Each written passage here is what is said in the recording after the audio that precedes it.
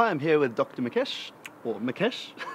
Lovely to meet you. You I've, too, good to see you. I've been uh, following you on Twitter for a long time, so it's good to meet you in the flesh. Likewise, it's one of the joys of Twitter. You can actually meet people, and then when you really meet them, you can say hi properly. Definitely, definitely. And so we're talking uh, today about global health. So, what's your opinion regarding social media and how that relates to global health?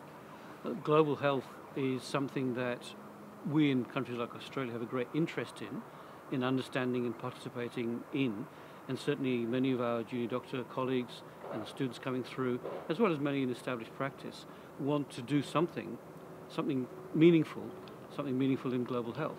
And this is one way they can keep in touch with what's going on, contribute, and see what opportunities they have in doing things actively to help causes internationally.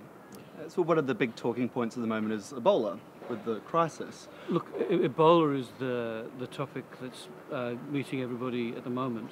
Um, you have great blogs from people like in South Africa which show, you know, and I've actually tweeted this, if you look at my Twitter, you can see it, um, about how they've stopped flights to Africa, but not the virus. And, you know, other quips like that that actually paint a picture very succinctly. So in that you've got to do in a certain number of characters, 140, you've got to make your point and make it well and very firmly.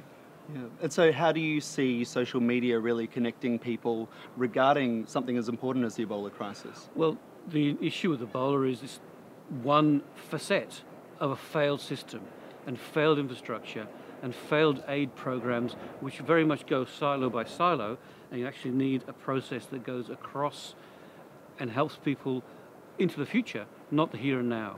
So you need to build the systems and you need to have a good supply of information and services and interventions from pre-diagnosis try and prevent people getting Ebola, early diagnosis and isolation, through to treatment and supported treatment in, in hospitals, making sure the healthcare support personnel are well protected, and then unfortunately if people do succumb and die, how you actually dispose of, sensibly how you dispose of um, the, the deceased.